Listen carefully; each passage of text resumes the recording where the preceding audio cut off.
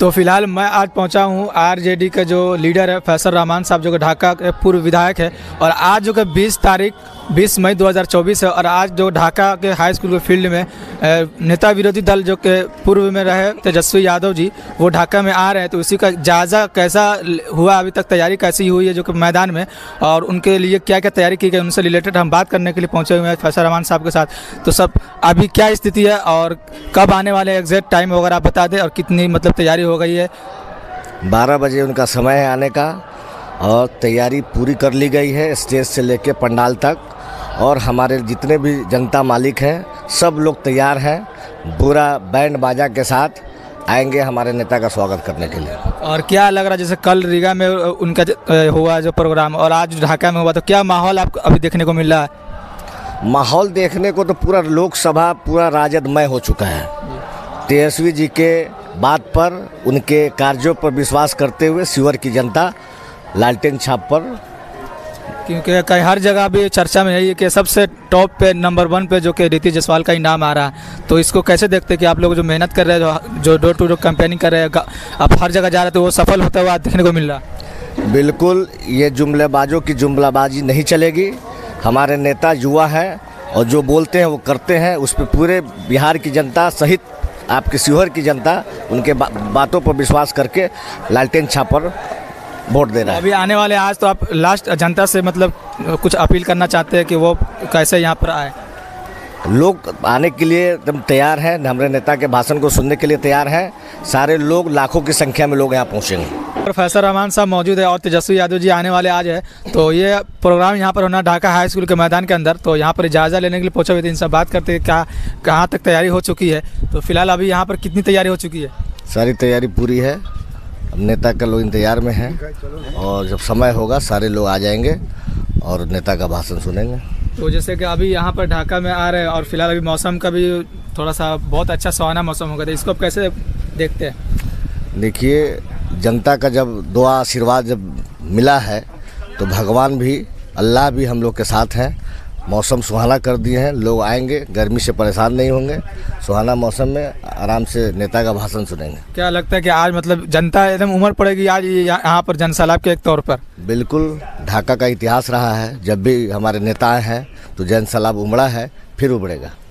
तो यहाँ पर हमारे जो अध्यक्ष जी भी है तो इनसे बात करने की कोशिश करेंगे। तैयारी किस कहाँ तक पहुँची है किस स्थिति में? तैयारी तो आप देख रहे हैं पंडाल की तैयारी हो चुकी है। सभी प्रशासनिक तैयारी हो चुकी है। कोई दिक्कत नहीं है। जनता भी चारों तरफ़ से अपना नहा धोआ कर खा पी कर तैयार है। यहाँ कुछ करने के लिए बहुत जल्द यहाँ ग्यारह बजे से लोग का आना शुरू होगा। बारह बजे तक ये फ़ील्ड पूरा भरा पड़ा मिलेगा। और मौसम जो है काफ़ी अच्छा अभी तक हो चुका है। ऊपर वाला मेहरबान है। जब ऊपर वाला आदमी का किसी को फ़ायदा पहुंचाना होता है ना तो ऊपर वाला इसी तरह का काम करते हैं उनके हक में ये काम हो रहा है हमारे उम्मीदवार के हक में ये काम हो रहा है। मतलब यहाँ के जो भी जनता मालिक है उनसे आप क्या कहना चाहते हैं कि आज के प्रोग्राम के लिए? जनता को यही कहना चाहते हैं कि समय पर यहाँ आवे और नेता का भाषण को सुने और 25 तारीख को लालटेन छाप पर बटन दबाकर रीति जायसवाल को भारी मतों से जितावें। तो जैसे कि आप यहाँ पर देख सकते हैं कि और भी काफ़ी लोग हैं और पंडाल वगैरह यहाँ पर लग चुका है, जैसे आप देख सकते हैं चारों साइड में काफ़ी दूर दूर में। हर तरीके से मतलब यहाँ पर इंतज़ाम किया गया है, चाहे वो प्रशासनिक तौर पर उन वहाँ उसके हिसाब से भी इंतज़ाम किया गया और पंडाल वगैरह इधर से लगाया गया और उधर सामने जो है और स्टेज वगैरह भी बनाया गया है, जो कि सामने आपको इधर से रहेगा। और इधर सामने जो भी अभी तैयारी चल रही है अभी समय बचा हुआ लगभग तीन से चार घंटा। तो क्या आपको लग रहा है जो आरजेडी का जो महागठबंधन का आज रैली होने वाली ढाका के फ़ील्ड में तो क्या स्थिति है? स्थिति बहुत बढ़िया है एकदम विशाल रैली होगा। बहुत भयभत स्वागत है हमारे तेजस्वी यादव जी का मुकेश सहनी जी का। तैयारी में कोई कमी नहीं है मौसम भी सुहाना है। समझे कि अच्छा मौसम है ऊपर वाला का मेहरबान है कि मौसम भी बढ़िया कर दिए हैं पूरा जन सैलाब रहेगा।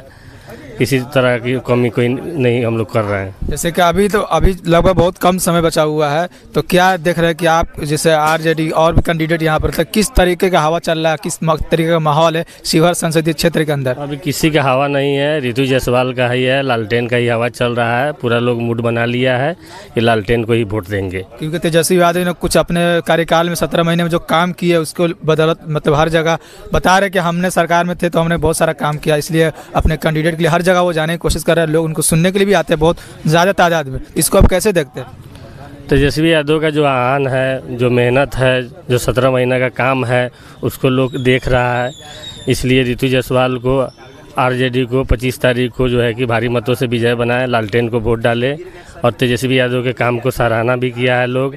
जनता देख रही है अच्छी तरह से कि तेजस्वी यादव ने सत्रह महीना में जो काम किया है वो पंद्रह सालों में काम नहीं हुआ है। तो क्या लगता है आज मतलब कि जनता मतलब या यहाँ के जो भी लोग हैं जनसैलाब के तौर पर उभरेंगे आज? क्योंकि मौसम बहुत अच्छा आज है। मौसम भी सुहाना है और जो है कि जनता पूरी तरह से मुस्तैद है हमारे नेता प्रतिपक्ष तेजस्वी यादव का स्पीच सुनने के लिए। पूरा जनसैलाब रहेगा, लाखों की संख्या में लोग रहेंगे।